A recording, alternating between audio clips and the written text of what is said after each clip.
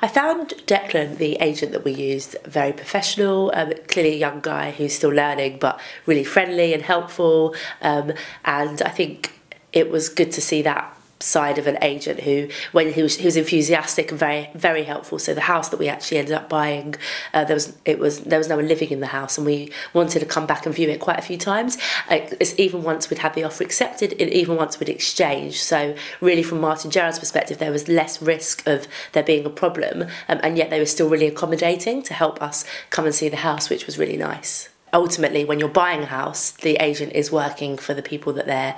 selling their buy they're selling it for. Um, but I did have a good rapport with with ne- with Declan and Martin Gerard, Gerard and did feel that um, they were honest in the communication that they were giving me. The thing that impressed me the most, um, particularly with Declan,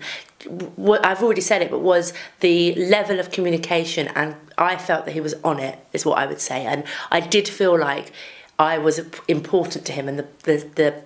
the chain that I was in, i.e., selling my house through another agent and buying the house that we've now bought, was important to him. And obviously, I'm sure he had multiple clients and multiple houses he was selling, but I felt that this was important to him and he wanted to make sure it happened, which was really good because I felt like he was ensuring that the process was moving along as, as hastily as it could.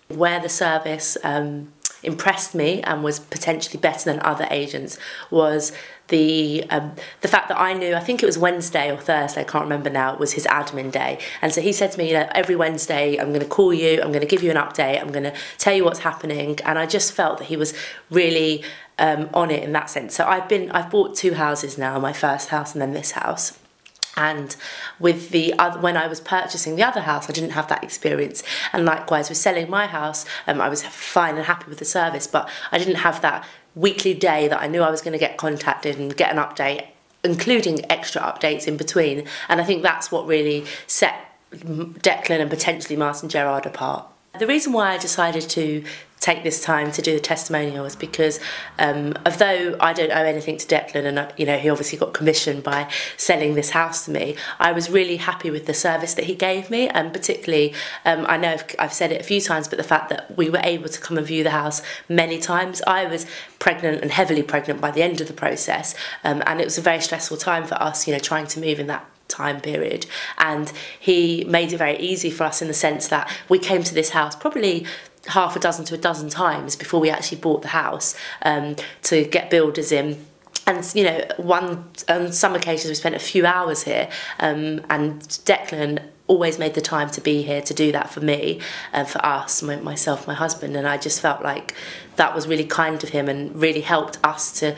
get everything ready that we needed to get ready and so that's kind of wanted to say thank you I would rank Martin Gerrard um, in the top of the estate agents that I've used. I found Declan really helpful um, and he gave a great service. So I would say